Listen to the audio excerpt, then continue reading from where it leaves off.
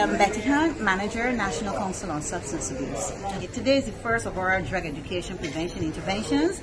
We thought, as we had said earlier, we need to get out more to the public and interact with them. This is something we have been doing for the past four years in conjunction with Massy today. We have brought out our drug education um, information. We've brought out some materials, for example, the goggles. We have some gloves which simulate what happens if you're drinking. And they go at different levels. If you drink in the morning, if you drink heavily, there are varying levels. So we're just asking members of the public to participate and then they give us our feedback. My position on the breathalyzer is anything that anything that is used to prevent misuse of drugs, the NCSA will support.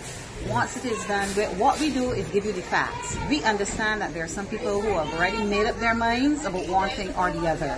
That is that is normal. But we strive to give you the facts, present the information in a factual way, so that you are seized with the knowledge that you can make the facts. So we do know that drugs affect people differently.